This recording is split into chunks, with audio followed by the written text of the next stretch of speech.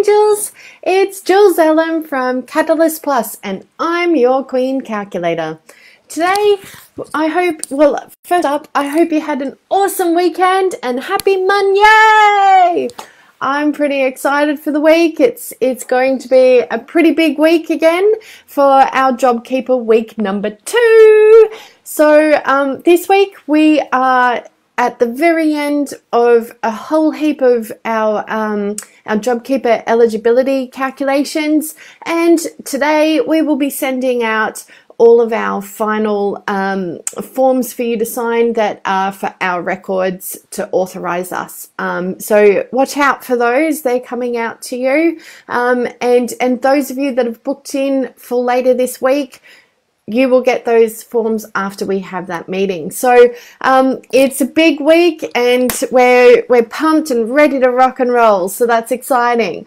Now I wanted to talk to us, to you all, and thank you all for joining. I wanted to talk to you all about the apprentice wage subsidy as well as the job keeper.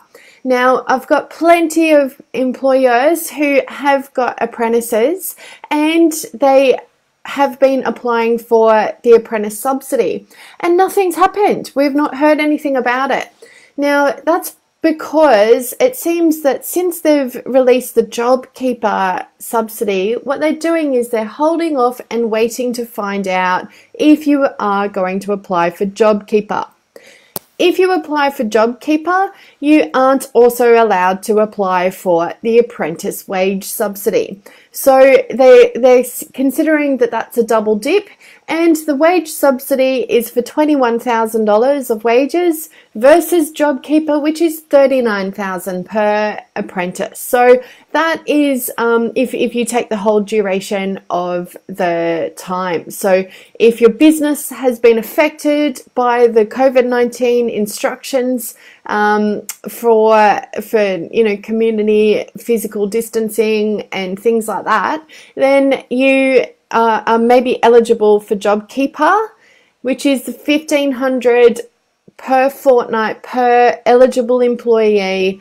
Um, that is reimbursed to you the following month. So, um, so yeah. So if you're going to get JobKeeper, the you won't also be able to receive the apprentice and wage subsidy.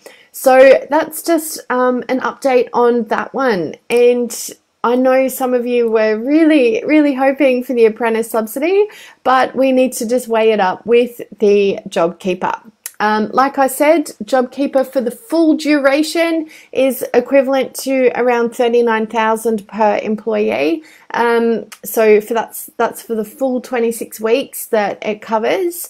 Um, and oh, actually, maybe I did that wrong. Sorry, seven. Hang on, I did fifteen hundred for twenty-six. Hang on, that was a mistake. Eh erase, erase, give me more coffee on a Monday. Um, 750 by 26 is 19,500. That makes way more sense. 19,500. I'm sorry, I made a mistake, but I caught it out. Um, I will get more coffee.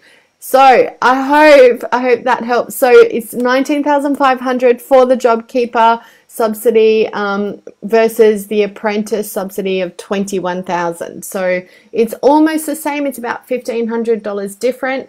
Um, so that's why you're not entitled to get both of them. So yeah, so that's that's it. And I hope that this was helpful. Sorry, I had a brain fart with my calculatoring earlier, but um, yeah, that's it. I'm human. Love you all. And I hope you have an awesome, awesome day. Tomorrow I'll see you. And in the meantime, heaps and heaps and heaps of calculator hugs. See you later.